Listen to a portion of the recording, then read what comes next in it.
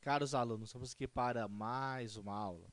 Temos aqui um triângulo retângulo, né, com, com suas medidas. E eu quero descobrir qual é o valor de cada uma dessas medidas não conhecidas. Primeiramente, eu vou identificar o que eu tenho aqui. O que é o P? O P é um dos catetos. O N é um outro cateto. O 13 é a nossa hipotenusa. O H é a altura relativa à hipotenusa. O Y é uma projeção. O 9 também é uma outra projeção. Bom, então primeiro passo, já sabendo o que é cada uma das medidas, basta saber qual é a relação, qual a primeira relação que eu vou usar. Notem que qualquer relação entre as grandezas, para descobrir o valor de uma desconhecida, por exemplo, eu quero descobrir o h. Relação que eu vou usar tem que ter o h, que é a nossa altura. E outra coisa, só pode ser ela desconhecida. Note que se eu for tentar usar o teorema de Pitágoras aqui, eu tenho lá hipotenusa 13, 13 ao quadrado, é igual cateto P ao quadrado, mais cateto N ao quadrado, eu não conheço nem o P nem o N. Ou seja, não consigo resolver nem achar o valor de P nem achar o valor de N. Então, a primeira relação que é o teorema de Pitágoras não funciona para cá. Porque ele não acha um dos valores, nem acha o valor do P, nem acha o valor do N. Notem que, então, para usar uma das relações, eu possa ter, ter apenas um único valor desconhecido. Então, novamente, para usar qualquer uma das relações métricas no triângulo retângulo, apenas uma das medidas tem que ser desconhecidas.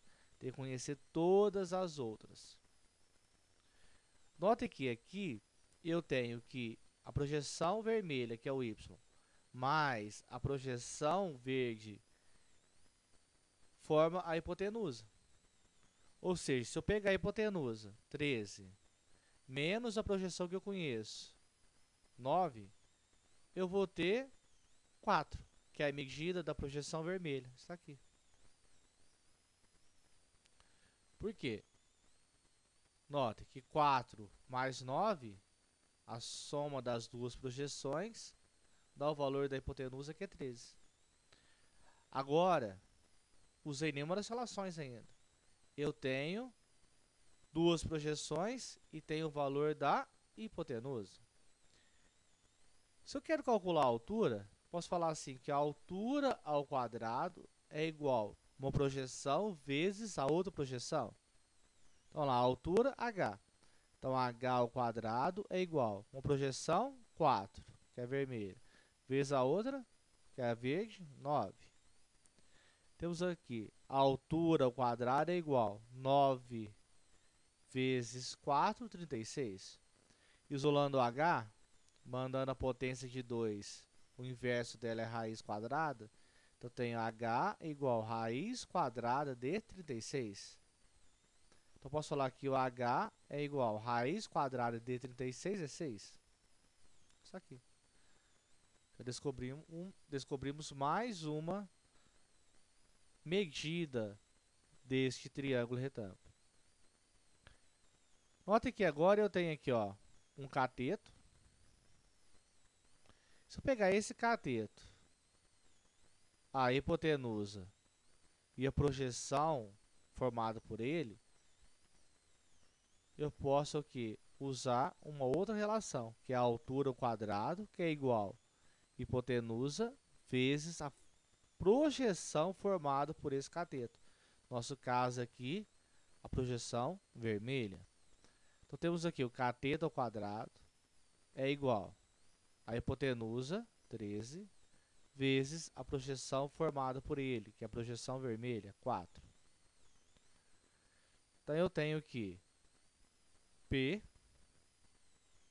é igual raiz quadrada, já isolando o P, 13 vezes 4. Então, P é igual a 2 raiz de 13. Aqui eu já multipliquei, né? Ou faço direto. Raiz quadrada de 4 é 12, é 2. O que, ficou lá dentro da raiz? Ficou o 13. Então, tem aqui que o cateto P vale 2 vezes raiz quadrada de 13. Note que, após eu achar uma das medidas, eu começo a ter mais possibilidades de usar outras relações. Eu vou tentar sempre usar aquela mais simples. O que é aquela mais simples? Que demanda menos cálculo. Poderia usar Pitágoras, só que eu teria que fazer o quê? Trabalhar com raiz quadrada. Não, não é bom. Vamos tentar então o mesmo processo. Ó. Tem um cateto, a projeção de baixo desse cateto e tenho a hipotenusa. Então, novamente, cateto ao quadrado é igual hipotenusa vezes a, proje a projeção formada por ele. Então, o cateto n ao quadrado é igual a hipotenusa 3 vezes a projeção verde 9. Então, n, já isolando, né? É raiz quadrada de 13 vezes 9. Então, eu posso falar que o n é igual. Raiz quadrada de 9 é 3. O que ficou na raiz? Ficou 13. Então, n é igual a 3 vezes raiz quadrada de 13. Está aqui mais uma medida desconhecida. Note que desta forma eu calculei todas as medidas desconhecidas.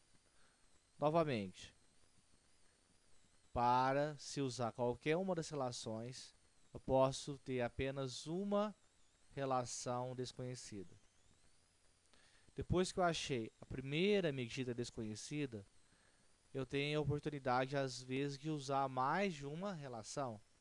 Com isso, procuro sempre aquela mais simples, ou seja, aquela que eu tenho que fazer menos cálculo. Muito obrigado e até a próxima aula.